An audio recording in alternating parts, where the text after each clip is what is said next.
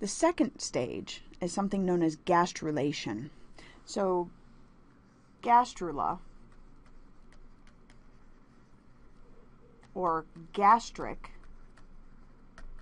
might be a term you have associated before with digestion. Gastrulation is the formation of a digestive tract. And by doing that, by forming a digestive tract, we're providing a pathway for nutrients to enter and waste to exit. Nutrient in and waste out is critical to the formation of the embryo, and we'll see as we perform this phase and the formation of this digestive cavity we set up the basic body plan for the rest of your development. We'll form three layers. These are known as germ layers or body layers. Germ layer does not refer to any infection. Don't be concerned. What we're looking at instead is the formation of a gut tract in the center with layers surrounding. And what we want to think about is when we talk about your layers, what do we actually mean? Well, this digestive tract you see I drew in the middle. That's the inside. So endoderm or inside is what we refer to in this body layer. The middle layer, so what's your middle layer in you? Think about what lays between your gut, your stomach, your intestines, and your skin. What is that middle? Well, I have it here for you. The middle is muscle and bone, something known as mesoderm. When we get into more discussion of animals in the animal kingdom, we'll see that not every animal actually has mesoderm. Muscle and bone are very distinct features of particular animals. On the outside, you have skin.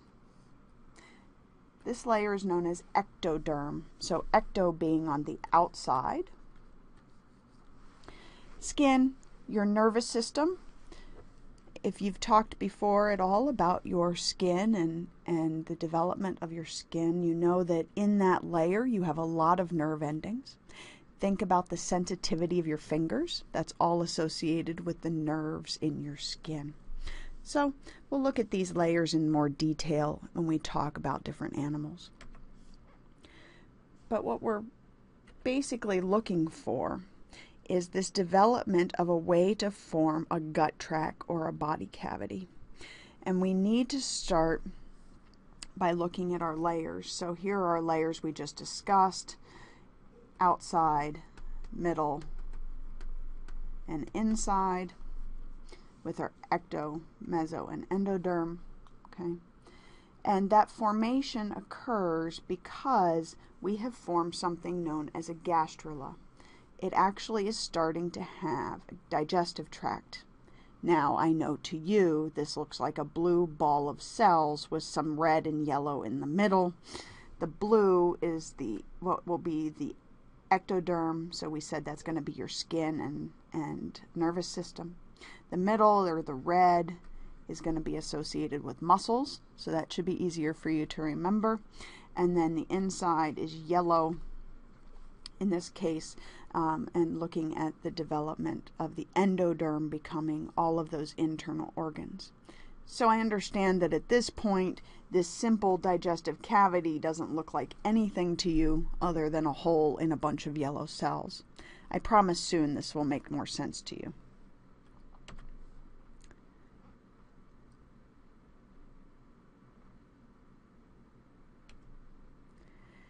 Gastrulation in our sea urchin friend here is actually looking for this formation of the digestive tract. And you can see down here, so we've got our, our ball of, of cells that we expect, but inside this ball of cells, we actually have a cross section that's been kind of taken here for you so that you can see this folding in.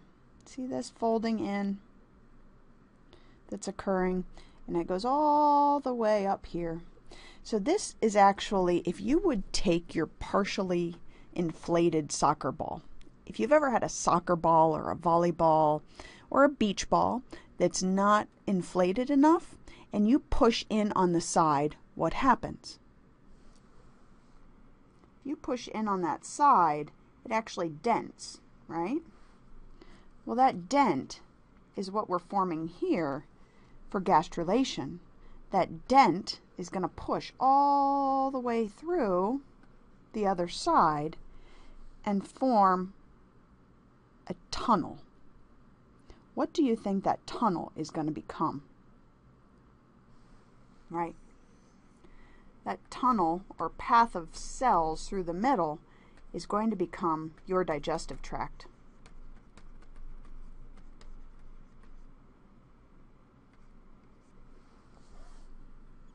Now, we know that your digestive tract now is not straight, right?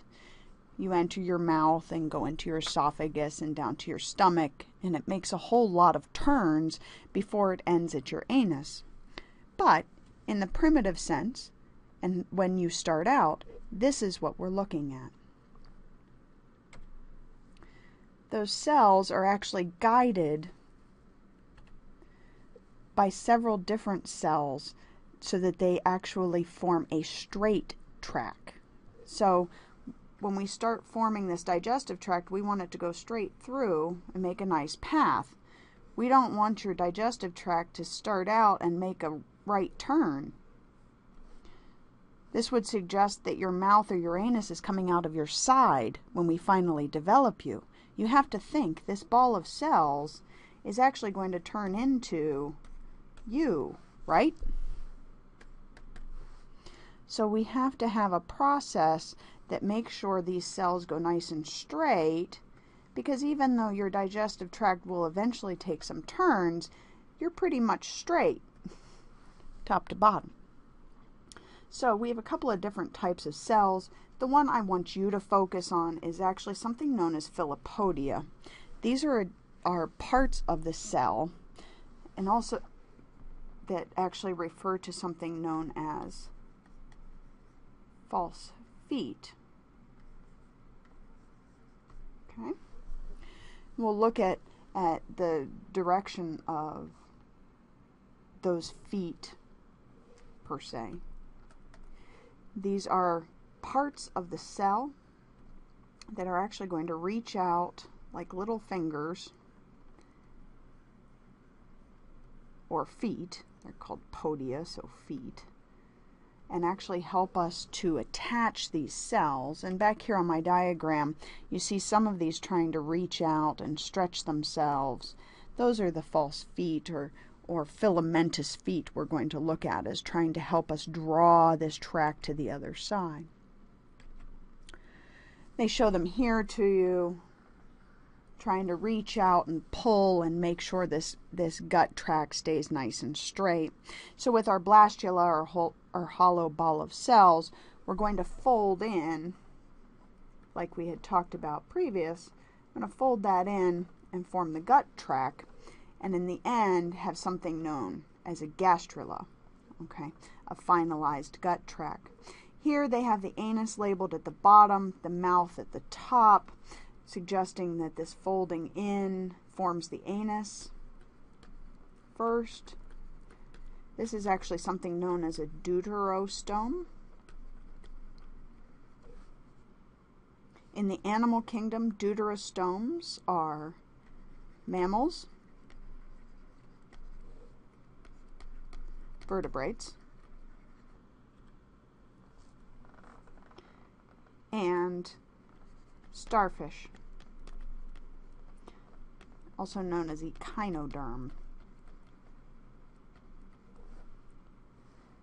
That doesn't have to occur. We can actually form the mouth first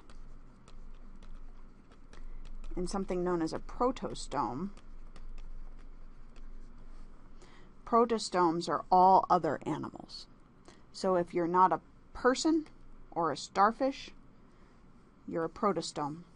So we'll look at those differences more when we talk about animal evolution. So, as I mentioned, this mouth forming first uh, and the gut tube moving its way through. Um, in our sea urchin, when the mouth forms first, there's our protostome term. In a sea urchin, this is what occurs.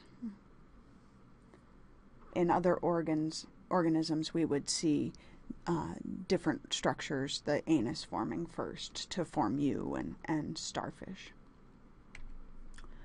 So in this process that we've looked at, we've got our three layers. Again, this kind of basic digestive tract and cavity forming. And that's where we see ourselves uh, starting to change, and then we'll eventually go into a process to form all of our organs known as organogenesis.